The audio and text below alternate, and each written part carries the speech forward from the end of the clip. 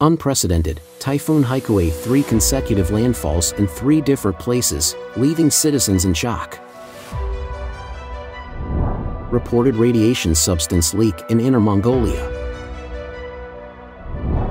High deaths among top CCP officials and police continued to be reported amidst new coronavirus rampage. As soon as school started, chaos broke out frequently, parents and students protest across China victims of defaulted real estate companies rally in mass protest.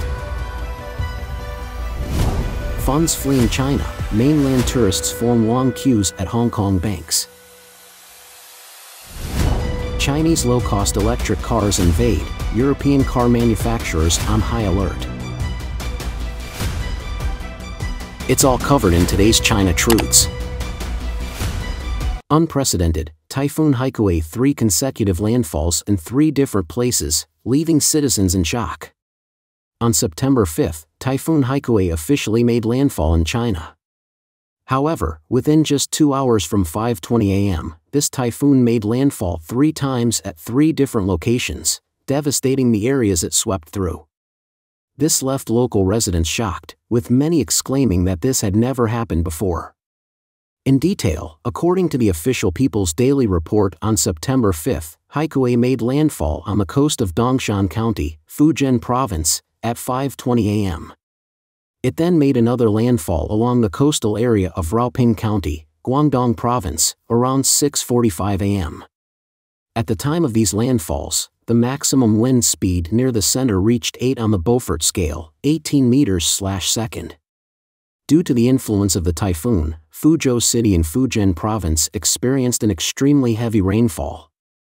In the early hours of the same day, Quanzhou City in Fujian Province faced a flood disaster, with surging floodwaters inundating the urban area, and the streets turned into waterlogged areas. On the same day, the Shimen Bridge in Fuqing, Fujian, was washed away by floodwaters. The Longjiang River in Fuzhou City saw a rapid rise in water levels, turning the riverside areas into waterlogged regions, and a large number of cars were submerged by floodwaters. In Xiamen City, the urban area suffered from severe flooding, with many cars submerged, leaving only their rooftops visible. However, some people have noted that the heavy rainfall in Xiamen is not ending but rather just beginning. In Fuzhou's Minhou County, known as the hometown of Chinese goldfish, several towns were hit by disasters the entire village of Guqing in Nantung town was submerged, causing significant losses for fish farmers. In the coming days, the coastal areas of Fujian and the central eastern regions of Guangdong are expected to face a severe situation of heavy rainfall. It is anticipated that the total rainfall in Fujian may surpass 600 millimeters. Notably, according to the Vision Times, the typhoon Haikui, originally named Dragon King, was formed on September 26, 2005. At that time, this powerful typhoon caused at least 147 deaths and 39 injuries on mainland China. As a result, there was a request to rename Dragon King to Haikui. This move raised questions among the public, with some suspecting that the authorities were attempting to conceal past events. Weather enthusiasts jokingly remarked, according to the typhoon naming and renaming system, Haikui is essentially the substitute name for the retired Dragon King Typhoon, a kind of reincarnation. And this version of Typhoon Haikui does indeed seem to have a bit of Dragon King's temperament. Shanghai Sam's Club flooded during rainstorm. Due to the influence of the outer circulation of Typhoon Haikui, Shanghai experienced heavy rainfall over the past weekend, leading to severe flooding at a Sam's Club located in the Zhenru area of Putuo, Shanghai. A viral video depicted this rare scene inside the store, with staff working diligently to remove the water. This video garnered attention from netizens. The customer service representative explained that the first instance of flooding occurred because there was no prior plan in place, as the store is located underground. This time, the flooding happened because the flood prevention boards for the safety exits were not properly sealed. This Sam's Club is a high-end membership store under the Fortune 500 company Walmart. The Sam's Club membership store in Putuo District is the fifth Sam's Club store to open in Shanghai and the first one in the central urban area of Shanghai. It boasts a total area of over 50,000 square meters, including a 9 meter high underground shopping space. Reported radiation substance leak in Inner Mongolia.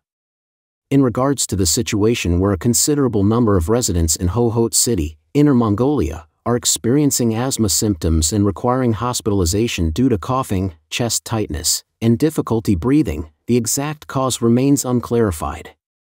However, recently, very noteworthy information has revealed that a radioactive substance leak has been reported in a coal mine in Ordos, Inner Mongolia. This has resulted in radiation injuries to many people, particularly acute respiratory damage, impacting areas including Ordos, Hohhot, Baotou, as well as Datong in Taiyuan and Shaanxi province. On the morning of the 4th, a chemical defense unit from Beijing equipped with nuclear-grade gear was dispatched for containment. Online reports suggest that the military transferred an abandoned coal mine to a coal tycoon. After a few days of open-pit mining starting on August 20th, two drivers involved in mining and transportation suddenly experienced body-wide ulcerations.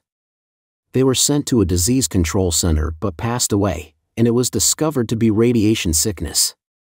Mr. Chi, a resident of Ordos, mentioned, We have a lot of open pit coal mining here, and there have been more cases of respiratory illnesses, similar to those symptoms, like feeling sore all over my body.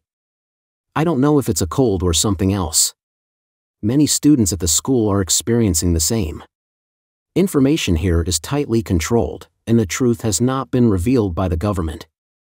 Ms. Liu from Baotou also revealed that Baotou is very close to Ordos and suffers from severe pollution.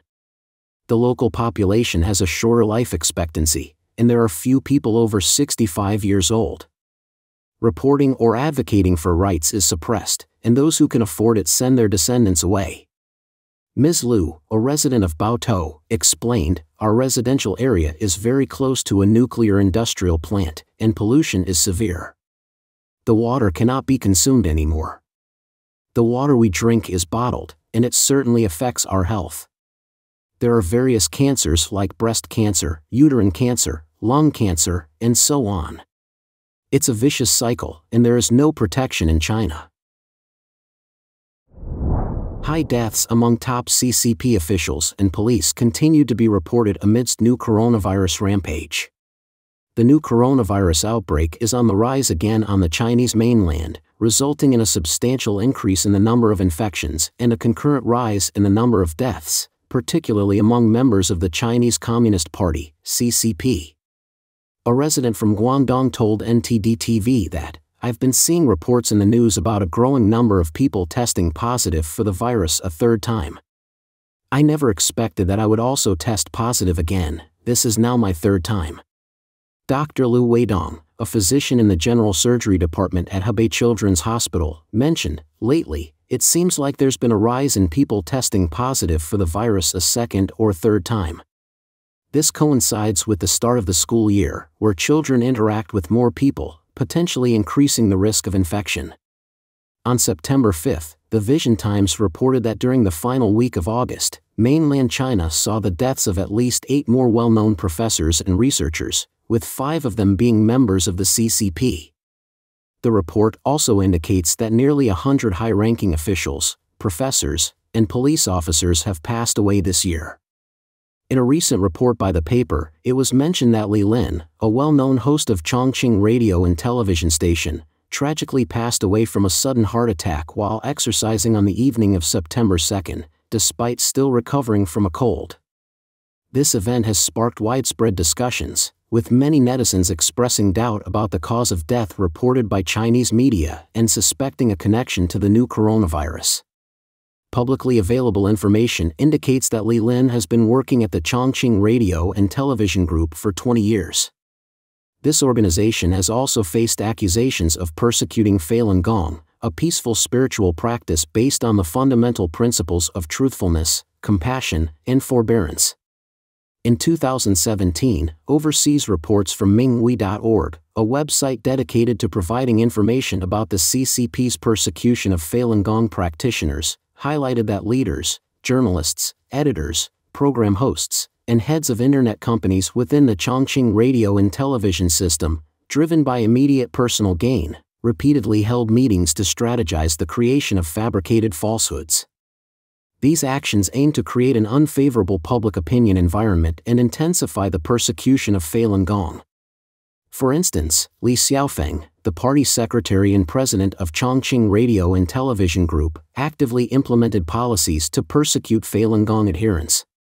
Li Xiaofeng has been sentenced to death with a reprieve, and Minghui.org reports that he faced karmic retribution. As soon as school started, chaos broke out frequently, parents and students protest across China. In early September, schools in different parts of China started their new academic year, but there were numerous chaos and irregularities in several schools. This sparked anger among students and parents, leading to protest actions. The most notable incident was the one we reported earlier, with over 5,000 students in the school uprising to oppose the school administration and demand the reinstatement of bi-weekly holidays. They covered the school bulletin board with slogans like Fight to the Death, Give us back our weekends, but these were concealed by newspapers and other materials. As a result, hundreds of frustrated students gathered near the bulletin board, shouting each time a new poster was added. The students named this protest the September 2nd Uprising. On September 4th, in Rongjiangnu District, Ganzhou City, Guizhou Province, there was also a viral video showing parents taking to the streets to protest against the central cafeteria's distribution of pre-made meals to all schools in the district they were concerned about food safety and the delayed delivery of meals to their children. Banners held by parents read Boycott fast food boxed meals, restore school cafeteria dining. During the protest, clashes occurred between the police and parents, with some parents shouting, Don't hit people. Some protesters were even pinned down by the police. Furthermore, a recent incident of food poisoning at a school in Yunnan province led to anger among parents, in Yunnan Province, on August 30th, at Sujing No. 2 High School, Yunnan Normal High School, 28 students experienced symptoms such as nausea, vomiting, and abdominal pain after dining in the school cafeteria. However, parents reported that the school did not inform them at the time, and even denied the occurrence of food poisoning. However, after the food poisoning incident became widespread, the Sujing Education Bureau initiated an investigation on September 1, confirming the occurrence of a campus safety incident. Additionally, there are also videos shared by netizens that are shocking due to the extensive lack of amenities in many middle school dormitories. Even a high school classroom in a county town in Guangxi gives the impression of being a construction site. Here are some video clips as evidence to support the argument above. Netizens have expressed that with the start of the school year, parents are extremely distressed when they see student dormitories like these victims of defaulted real estate companies rally in mass protest. In recent times, starting from Evergrande's default in July 2021 to the Country Garden debt crisis and beyond, a series of protests have erupted in response to debt defaults by property developers and the widespread issue of unfinished construction projects. These protests have shed light on the significant financial challenges currently facing mainland China. On September 4, a group of affected individuals gathered at the Kongqiao Group headquarters in Zhengzhou, where they held signs and staged protests, demanding the return of the money they had invested in Kongqiao Group projects. Video clips circulating on various social media platforms depict dozens of protesters inside the Kongqiao headquarters lobby. They held placards with messages such as Kongqiao fraud, Kongqiao repay, Kongqiao fraud, government should intervene, and expose Songawei, return our hard-earned money. These signs conveyed their grievances and demands as they collectively sought justice. Based on information shared by an online user, Kongqiao Real Estate is a prominent local real estate company in Hunan, with Songawei serving as its chairman. The company has witnessed a significant decline in sales in recent years, plummeting from 25.4 billion yuan in 2020 to 9.1 billion yuan in 2022. Since 2021, Kongqiao Real Estate has been frequently linked to reports of project delays and halts. Similarly, on the same day, in Zhujiang, Hangzhou, victims gathered for a sit-in protest at Wanda Plaza Hangyao Property Center, while in Xi'an, Shanxi, under the central building, migrant workers held a banner that read, Return our hard-earned money, as part of their protest. In Beihai City, Guangxi Province, some owners of unfinished buildings went to the city government to seek justice. They demanded to see the secretary and expressed their desire to secure their homes. Some of these owners wore t shirts bearing the words Beihai government, please act for the people. During these protests, there were confrontations between some of the property owners and the police. One distressed owner sat on the ground, emotionally pleading with the police, questioning why they weren't pursuing those responsible for cheating them out of their money and why they were targeting the vulnerable. Furthermore, on the same day, September 5, a collective protest took place outside the headquarters of Zhongzhi Group in Beijing's Chaoyang district. The demonstrators at the scene were highly emotional, repeatedly chanting the name of Liu Yan, chairman of Zhongrong Trust, and demanding his presence to take responsibility, with slogans like Bring out Liu Yan, Bring out Liu Yan. Videos circulated on social media showed that protesters were subjected to violence by a large group of unidentified individuals wearing white attire. Notably, individuals dressed as police officers at the protest scene took a passive stance, merely observing from the sidelines and not intervening to halt the violent acts perpetrated by those in white attire. Regarding these masses of protests across China, Professor Wu Jianzhong, an associate professor at Taipei University of Marine Technology, shared in an interview with Radio Free Asia that there used to be a cattle and sheep logic in Chinese society. Essentially, when someone regularly provided sustenance, the populace would docilely go about their lives, akin to cattle and sheep that were cared for. However, there has been a significant transformation in society lately. Nowadays, whenever there's a hint of turbulence linked to China's economic woes, citizens promptly rise in protest. Mr. Wu also recounted a humorous anecdote circulating within online communities, suggesting that the new trio of major drivers of the Chinese economy is comprised of the National Bureau of Statistics of China, the Propaganda Department, and Xinhua News Agency. This insight hints that the authorities in Beijing appear to be grappling with China's economic challenges without a clear solution. He pointed out that if the economic bubble in China were to burst, it could lead to further disruptions in social stability. Currently, China's expenditures on maintaining stability are already considerable, and these costs are only expected to rise in the future. Funds fleeing China, mainland tourists form long queues at Hong Kong banks. Due to the economic slowdown in mainland China, depreciation of the renminbi, trust investment defaults, and the spreading real estate crisis, more and more mainland Chinese people are finding ways to transfer their funds overseas. They are heading to Hong Kong to purchase insurance or engage in other financial methods to move their capital. According to a report from Quartz website on September 5, this week, there have been long queues outside branches of Hong Kong banks. Those waiting in line are tourists from mainland China, who are waiting to open new Hong Kong bank accounts to provide funds for the insurance they are purchasing in Hong Kong. Since insurance companies operating in Hong Kong are prohibited from selling policies within mainland China, mainland residents must go to Hong Kong to purchase insurance policies. After three years of travel restrictions due to the pandemic, the Hong Kong border has reopened, and mainland Chinese tourists are flocking to Hong Kong to buy insurance. Official data confirms this trend. In the first half of the year, premiums from mainland Chinese tourists reached 31.9 billion Hong Kong dollars, approximately 4.1 billion US dollars, far exceeding pre-pandemic levels in 2018 and 2019. This allows mainland residents to transfer funds overseas through Hong Kong insurance policies, offering financial security, a growing concern amid uncertainties in the Chinese Communist Party's economic engine. Quartz's analysis highlights that the Chinese real estate crisis is driving capital overseas, potentially impacting the financial sector. Recently, the failure of China Huarong Asset Management, a majority state-owned financial asset management company in China, to meet obligations raised investor concerns. Additionally, as the Federal Reserve raises interest rates, Hong Kong banks have substantially increased deposit rates since late 2022, exceeding 5% for some one year HKD or USD fixed term deposits, typically around 4%. In contrast, mainland China's state owned banks have lowered rates, with most below 3%. Consequently, more mainland Chinese individuals are drawn to open accounts in Hong Kong. Chinese low-cost electric cars invade, European car manufacturers on high alert.